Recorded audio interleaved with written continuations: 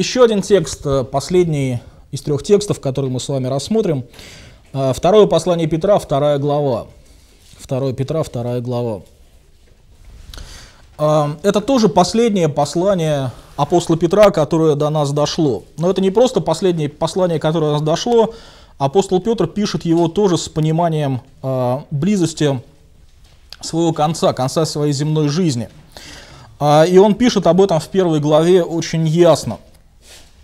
А, с 12 по 15 стих он говорит, «Для того я никогда не перестану напоминать вам о всем, хотя вы то и знаете, и наставлены, утверждены в настоящей истине. Справедливым же почитаю, доколе нахожусь в этой телесной храмине, а, возбуждать вас напоминанием, зная, что скоро должен оставить храмину мою, как и Господь наш Иисус Христос открыл мне. Буду расстараться, что вы и после моего отшествия всегда приводили это на память. Он говорит, я знаю, что все, что я собираюсь вам сказать, вы отлично знаете. Но я все равно буду напоминать вам об этом, напоминанием возбуждать ваш чистый смысл, чтобы когда меня с вами не будет, вы все равно об этом помнили. И в этом, кстати, кроется э, как раз э, главная обязанность христианских проповедников, да, христианских учителей. Наша задача не развлекать людей, да, как знаете, сейчас часто многие э, проповедники или, или пасторы, чтобы создать себе большую аудиторию, они каждый раз пытаются выдумать что-то такое вот новенькое, чтобы люди пришли. Доходит до того, что в некоторых аудиториях просто отменяют проповедь и устраивают просмотр чемпионата мира по футболу. А в России, к счастью, пока такого я не слышал. В Америке такие вещи бывают. Или устраивают выступления клоунов, чтобы люди по, а, побольше приходили. Успех измеряется количеством денег, которые кидаются в сумку. А, Петр пишет о том, что наша главная задача и его главная задача как пастыря христианского, как образца в значительной мере христианского пастыря, снова и снова напоминать людям о тех самых главных вещах, на которые стоит наша христианская жизнь, даже с риском, э, рискуя тем, что людям это надоест слышать. У нас ведь не так много тех важных вещей, которые людям необходимы для жизни. Сколькими способами можно сказать человеку христианское Евангелие? Сколькими способами можно изложить то, что Христос умер за них для их спасения? На самом деле очень немногими. Но мы все равно обязаны повторять это снова, снова, снова и снова, потому что ничего другого спасительного не придумали. Да, именно в этом кроется спасение. И мы должны снова и снова повторять, напоминать этим людям, чтобы напоминанием возбуждать их чистый смысл. Слово «возбуждать» а, оно а, использовалось для обозначения волн на воде. Вот представьте себе такое тихое болото, да, которое зацвело и заросло, и в котором там всякие жабы водятся, и мы бросаем туда камень, и там волны пошли, какая-то жизнь появилась. Вот мы с вами должны так возбуждать эту тихую, незамутненную воду, да, в которой люди спят, для того, чтобы они проснулись, для того, чтобы то Евангелие, которое, которым мы живем, брело для них настоящий подлинный смысл. Да, снова и снова напоминать людям о тех абсолютно важных, необходимых вещах, которые, на которых строится наша жизнь. И Петр в своем послании делает именно это. Вообще, если первое послание Петра говорит о гонениях, то второе послание Петра говорит о ложных учениях. Да, вот прошло время гонений, началось время ложных э, учителей. И э, особенно вторая глава. И Петр начинает свою вторую главу, э, говоря следующее, первые три стиха. «Были и лжепророки в народе, как у вас будут лжеучителя, которые ведут пагубные ереси, и, отвергаясь искупившего их Господа, навлекут сами на себя скорую погибель. И многие последуют их разврату, и через них путь истины будет в поношении. Из любостяжания будут ловлять вас льстивыми словами, суд им давно готов, и погибель их не дремлет. Петр тоже начинает свой разговор именно так, как начинает его Павел. «Были лжепророки в народе, и у вас будут лжеучителя». Он не просто говорит, что это обязательно будет, он еще и ссылается на историю – он говорит, посмотрите на историю израильского народа. У них всегда были ложные пророки. Не думайте, что вы чем-то отличаетесь. У вас будут ложные учителя. Они придут, хотите вы того или нет. Что сделают эти люди? Они введут пагубные ереси. Что такое ересь? В переводе с э, греческого слово хайресис обозначает просто выбор. Выбор. Именно поэтому, когда в первом веке нашей эры в Писании, как мы об этом читаем, христиан называют назарейской ересью, их никто не хотел обидеть. Все просто говорили, ну это некая там назарейская конфессия, там, да, назарейская деноминация, некие там последователи Назарея, да, назарянина. А, и а, по сути дела, когда в то время говорили о ересе, в это слово не вкладывали ничего страшного. Но для христиан ересь всегда пагубна. Почему? Потому что любая альтернатива, которая не предполагает Христа как единственный путь истинную жизнь, она пагубна изначально. Христианство – это не религия множества путей, ведущих к Богу. Это религия одного пути. Да? Без Христа человек спастись не может. Помните, Господь говорил, да, что верующий в Него уже не судится, а неверующий уже осужден, потому что не уверовал во имя единородного Сына Божьего. Есть только один путь истинной жизни. Есть одно основание положенное, которое есть Христос Иисус, другого основания положить никто не может. И поэтому любая альтернатива, которая выносит за скобки Христа и то спасение, которое Он нам даровал, она по определению пагубна. Она по определению несет людям смерть. Как бы в остальном она не была красива, симпатична, и какие бы замечательные дела не делали люди, которые ее исповедуют. Это страшный яд, который убивает людей. Петр пишет, «Были же пророки в народе, как у вас будут лжеучители, которые ведут пагубные ереси, и в чем эти ереси? Отвергаясь искупившего их Господа». Да? Ереси, отрицающие Христа. Эти люди тем самым навлекут на себя скорую погибель.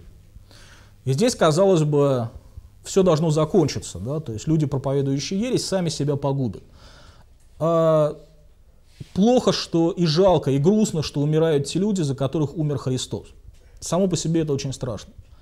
Но если бы погибли только те люди, которые проповедуют ересь, в конце концов можно было в какой-то степени с большими оговорками вздохнуть облегчением и сказать, ну, в конце концов, сами виноваты. Да, то есть сами выбрали себе такой путь, сами отказались от Христа, который их искупил, и понимали отлично, что они делали.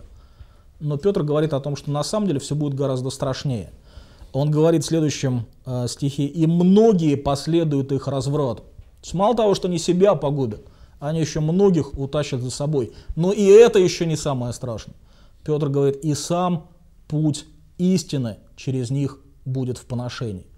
Мало того, что они себя погубят, мало того, что они своих последователей погубят, они еще настолько испоганят истину, что бесчисленное количество других людей не захочет даже ее слышать и пойдет вместо того, чтобы слушать истину, слушать учителей, которые льстили бы их слуху. Они не только сами не пьют, не только другим не дают, но еще и мутят воду ногами своими, чтобы больше никому к водопою прийти не захотелось. И вот это и есть самое страшное из того, что культы делают. Они губят людей всем, каждым действием и каждым словом, которое из них исходит. Сам путь истины будет в поношении. И последним предложением апостол Петр объясняет, почему они это делают. В чем причина, зачем культистам это нужно, зачем уже учители этим занимаются. Он объясняет очень просто. Говорит, из любостяжания будут уловлять вас листевыми словами. Что такое любостяжание? Это любовь к наживе. Но в данном случае речь идет, конечно, не только о деньгах. Да, речь идет о любой наживе, любой выгоде, которую человек получает в виде власти, в виде славы, а, в виде денег, в виде каких-то других бонусов. Да, все, что человек делает ради себя, оно, по сути дела, является объяснением того, что э, делают культы. Есть такая известная фраза, которую приписывают основателю саентологии Рону Хаббарду, э, хотя саентологи говорят, что это не он сказал, а человек, который сидел рядом с ним. Неважно, на самом деле, фраза хорошо отражает э, суть его учения, учения многих других лжеучителей. Он сказал, зачем писать и получать по пенни за строчку, если можно создать свою религию и получить сразу миллион. Зачем долго мучиться, если можно одним шагом попасть в дамки, подчинить себе массу людей? К сожалению, религия – это та область, в которой человек может найти неограниченный простор для своего властолюбия. Потому что мы видим, как миллионы людей идут за выдумками какого-то человека. Миллионы людей, которые на самом деле готовы отдать и свои деньги, и свои жизни, и подчинить себя полностью этому учению, а, думая на самом деле, что они а, имеют истину и у них есть спасение. Мы только что с вами читали у апостола Павла, что люди будут искать того, кто польстил бы их слуху. А здесь мы видим людей, которые листят для того, чтобы совратить людей. Происходит дьявольское сочетание. С одной стороны, человек, который готов отдать все, чтобы ему польстили и пощекотали уши, а с другой стороны, человек, который готов уловить льстивыми словами. И когда вот эти два человека встречаются, получается культ – Потому что один человек лжет, говоря человеку то, что приятно слышать, а другой человек только это и хочет услышать. И когда эти вещи совпадают, получаются культы. И чем больше и лучше совпадения, тем более страшные культы появляются на лице Земли. И в конце концов Петр предлагает нам окончательное утешение, заверение. Он говорит, суд этим людям готов, и погибель их не дремлет. А, мы знаем тем самым, что культы будут существовать не вечно, что однажды Господь положит конец всему, что здесь происходит, всей этой гадости. Но вопрос, который мы с вами должны задать себе, это сколько много людей погибнет, прежде чем это случится. Да? Сколько много людей эти люди утащат за собой. Сколько много людей уйдут вместе с ними в вечную погибель и предстанут перед ними на суд, на погибель, которая не дремлет. Вот это тот вопрос, который каждый человек должен задавать себе, когда возникает вопрос, нужно ли заниматься христианской апологетикой. А мы с вами поговорили о том, как Писание говорит о важности а, занятия апологетикой, защиты христианской веры. Давайте попробуем сказать несколько слов о том, а, как эта важность, как эта проблема отражается в нашей нынешней жизни. К сожалению, как вы понимаете, культы, как правило, не дают своей статистики, трудно найти какие-то цифры, которые отражали бы их рост в нынешнем мире.